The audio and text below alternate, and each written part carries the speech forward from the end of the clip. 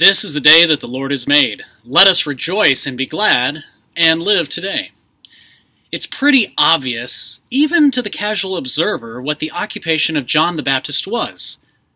I mean, the role is contained right there in the title John the Baptist.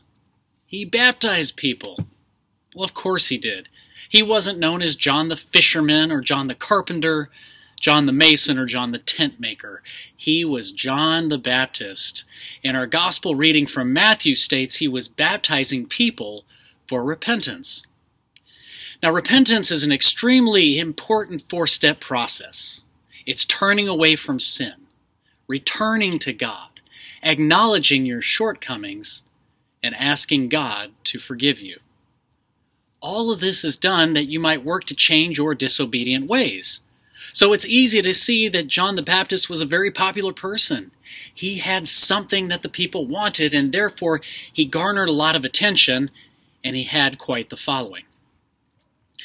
But John did more than just baptize. He had a captive audience already in place, and he used his position to bring a message to the people that would be of greater service to them than a dip in the Jordan River to cleanse one's transgressions. John brings a message from God that the kingdom of heaven has come near. John speaks these words to the people where they are at, words which have a significant meaning. Throughout the Jewish history, the Israelites were waiting for a king to come and to rescue them from the nations who persecuted them.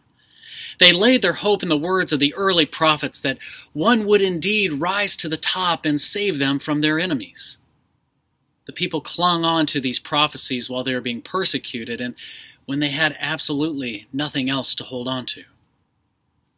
But no one showed up. And the voices of the prophets, they quickly faded.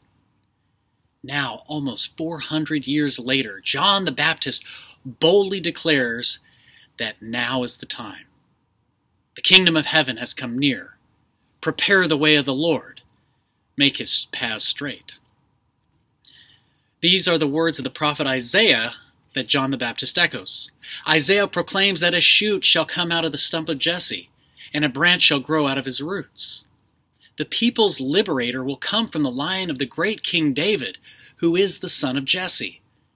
And since King David was so powerful and protective of the people, the expectation is that shoot shall be just as authoritative and dominant. The gifts that this person will exhibit look wonderful on a resume he shall have the Spirit of the Lord resting on him, as well as the Spirit of wisdom and understanding, the Spirit of counsel and might, the Spirit of knowledge, and the fear of the Lord. To me, it sounds like the makings of a terrific leader. Not only that, but this Savior will be a voice for the poor and the downtrodden, for those with little hope left in life. He will be the great equalizer, demanding justice and righteousness across the earth. No longer will the enemies of the people have the final say, and no longer will they have dominion, for this ruler will rule in faithfulness to God. Now, it all sounds good.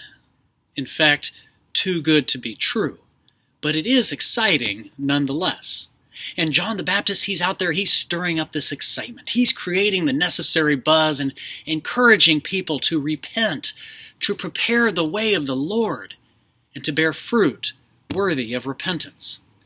He's telling his clients to be ready and to make yourselves right with God because this Savior will come in, ushering in a new beginning, a new era, a brand new kingdom. It is all quite exciting, but not nearly as thrilling as what this chosen one will do and what the kingdom of heaven will look like. Isaiah does a wonderful job of describing the effects of the coming of this kingdom. The wolf shall live with the lamb the leopard shall lie down with the kid, and the calf and the lion and the fatling together, and the little child shall lead them.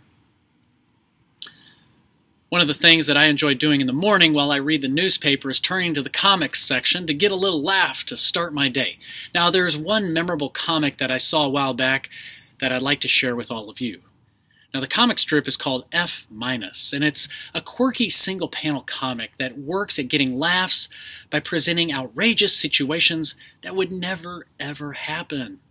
Well, in this particular comic, In the background, we see a herd of antelope running away from a lion. In the foreground, we see this lion with an unfortunate antelope pinned underneath its left paw. The lion is holding up an object with his right paw as he says, Whew, glad I caught you. Here, you dropped your wallet.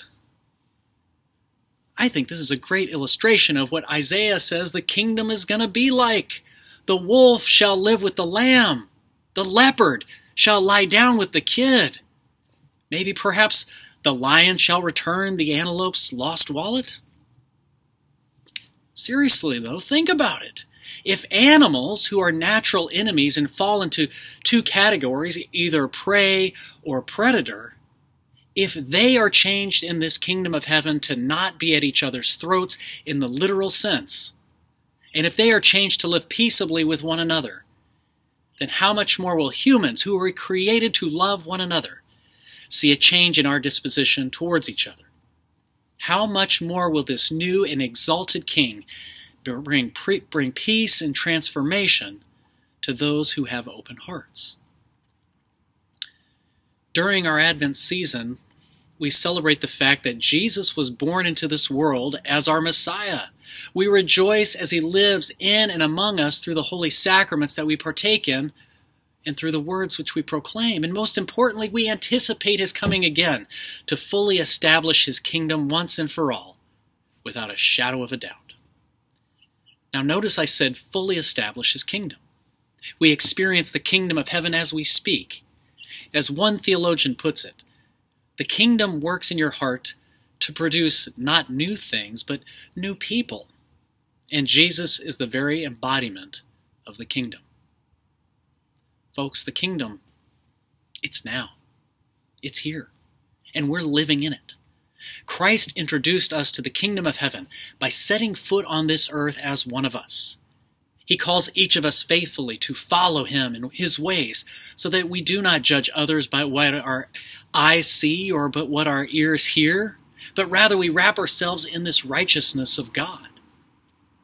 This enables us to be faithful to his word as we build upon his very kingdom by shouting out that same word that John the Baptist had in the wilderness Repent, for the kingdom of heaven has come near. Prepare the way of the Lord. And if everything mentioned in Isaiah truly comes to fruition, then we certainly have something marvelous to look forward to with the coming of Christ again. Amen. Come, Lord Jesus. Remember as you go about your day that yesterday is gone, tomorrow does not yet belong to you. So why not live today, knowing that you never walk alone? See y'all next week. Later.